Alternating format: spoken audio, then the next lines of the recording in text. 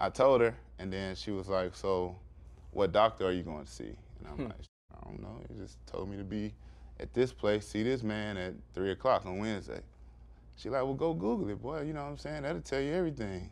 So I go in my room, get my phone, I Google it, come back, it's an oncologist, a cancer doctor. So I'm like, but yeah, once I Googled that, I didn't even tell my mom. I just closed the door, and it was probably like three o'clock in the evening.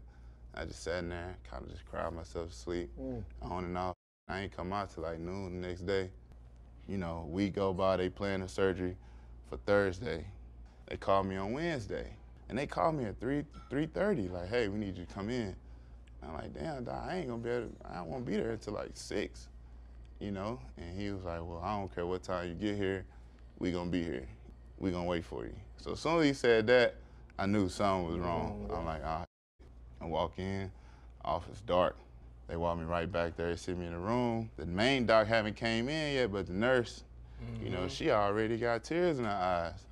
So I'm like, like, it's over with. You know what I'm saying? Like, I'm thinking my career over. I'm like, like, you know, this ain't good. You know, I was, you know, I felt like I had a lot more to prove. Like, you know, I ain't ready to walk away right now. So the main doc come in, you know, he kind of beating around the bush like, man, it ain't never easy. This the hardest part about being a doctor. You know, this ain't never easy. You know, blah blah blah. So I just cut him off like, doc, what is it like? I can't play ball no more. Just put it on me, man. I've been, you know, I've been going crazy last couple hours.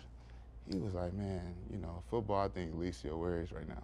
Wow. So when he said that, I just kind of sat back.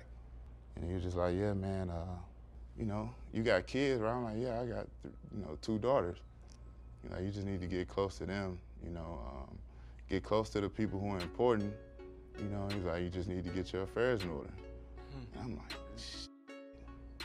you know, once he said that, I was just, I was shocked.